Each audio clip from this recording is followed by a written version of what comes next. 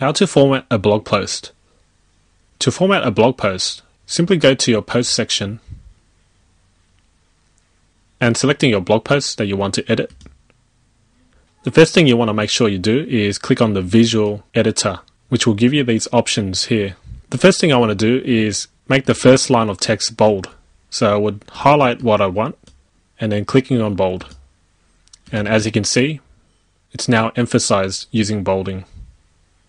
If I want to make a word italic, I can just select it and click italic. There's also more options if you click on this tool here, show hide kitchen sink. So if I want to underline a word or phrase, I can just highlight it, click on underline, and you can see the underline. If I want to change the color of some text, I will just highlight it and choose my color. If I want to make a list, I will just highlight the text I want and then either click unordered list or ordered list. An ordered list will give it numbers. Once you're done, you simply click update.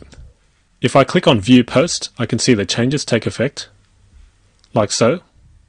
So those are the basics of formatting a blog post.